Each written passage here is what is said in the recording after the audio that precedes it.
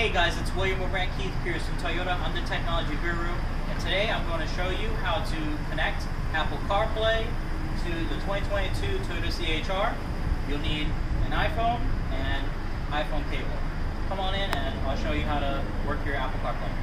What you're going to do is you're going to plug the cable into this USB port right here, and then plug that into the iPhone it's going to say that Apple CarPlay is available. You're going to hit always enable. Unlock the iPhone. Oh. Yep, just do that. Unlock the iPhone. Allow CarPlay while the C-HR, um, while the phone is locked, you're going to hit allow. And then your Apple CarPlay is going to be right here.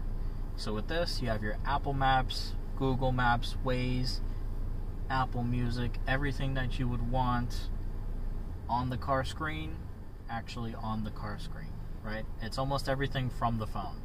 So, could allow for maps, you could search, new places to go, and then you could also use Siri as well.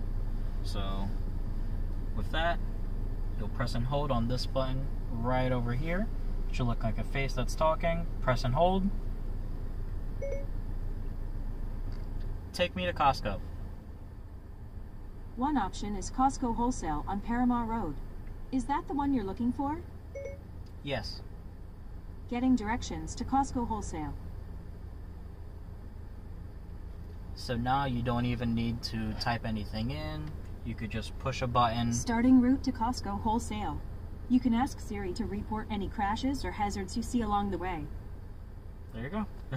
Proceed so, to Youngerman Circle that is the Apple Maps on your car screen, and that's also your Apple CarPlay on the 2022 Toyota C-HR. My name is William over at Keith Pearson Toyota. I'm the technology guru. If you have any questions, just ask for me.